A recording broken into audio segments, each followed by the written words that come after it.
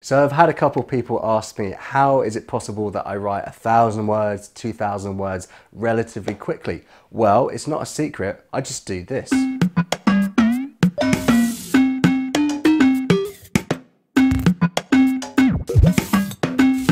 Because um, a picture's worth a thousand words. God, that was cheesy. Hello YouTube and a very special hello to all my subscribers. My name's Phil and welcome to my channel where I document my journey building an online income. If that's something you're trying to do as well, you're going to find these videos very useful, so why not become a subscriber today? So when you try and make money online, when you try and build websites or YouTube channels as I'm doing, you're going to have to learn quite a few different types of jobs, different tasks, and one of them is being a graphic designer. Images are really important when it comes to blog posts and also when it comes to YouTube for things like thumbnails, also in video editing I found. So I'm not very good at this. I didn't start off being very good at this, but the more you do something, uh, the better you get, right? But having the right tool really does help.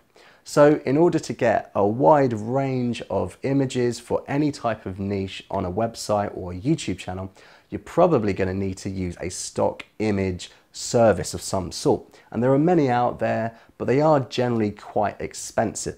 So what I did is I actually went for a kind of a package. I actually became a pro member of Canva. Now, uh, if you don't know what Canva is, it's a platform that you kind of go onto a web page and you can do many different things from making um, Facebook sort of announcements and uh, posts like that to thumbnails for YouTube. You can make your infographics and all these different kind of things. But another service they have is kind of a stock image service. And I joined the pro membership maybe about five or six months ago.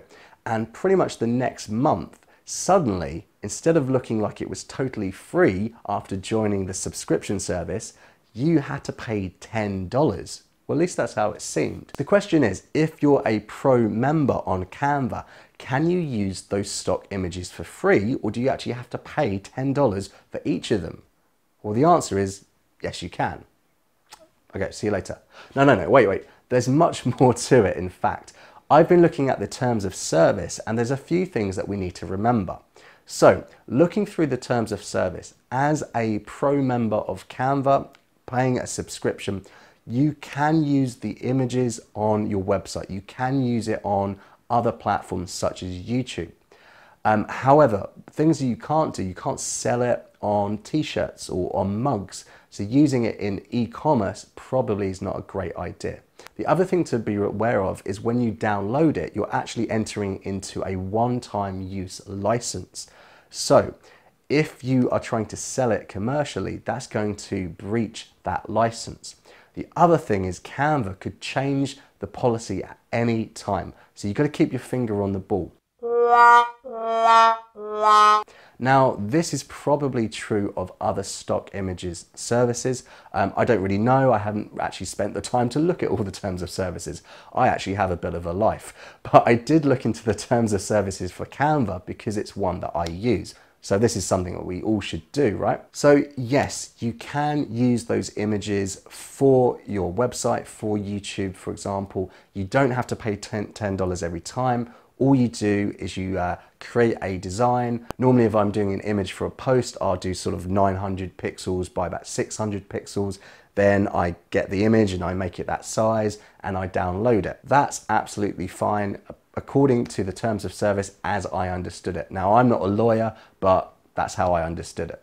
The other things I really like about Canva Pro is it's really great for making things like thumbnails. So I can take an image of myself from this video, I can remove the background, then I can actually download that image with a transparent background and I can put it over a design and make a thumbnail. So I found that really useful.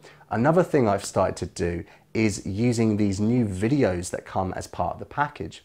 So if you are a pro member, you get a lot more of these videos as well as a lot more images. And I've been using them kind of to cut up my videos to try and keep people a little bit interested like this, pretty. And I found that that is really good because I get all of that for about 100 bucks, 120 bucks a year.